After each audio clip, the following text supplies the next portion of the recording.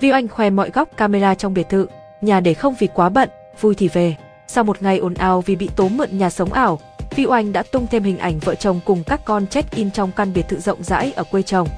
Đây là nhà vợ chồng Vi Oanh đứng tên chính chủ, nhà hiện để không vì quá bận chưa về được các bạn ạ, chỉ có vài ba người quét dọn lau chùi và vài người bảo vệ thôi nhé.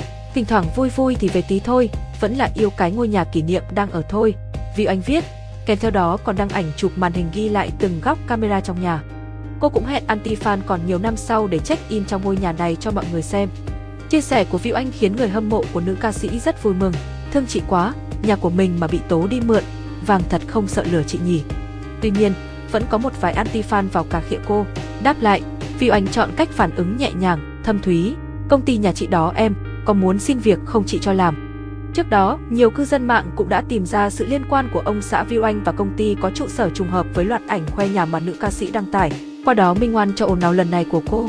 Mọi chuyện cũng đã tương đối rõ ràng, cư dân mạng hy vọng đờ ra ma sống ảo của giọng ca để cho em khóc có thể kết thúc tại đây. Cảm ơn các bạn đã theo dõi video. Nhớ đăng ký và bấm chuông thông báo để đón xem những video mới nhất từ chương trình nhé.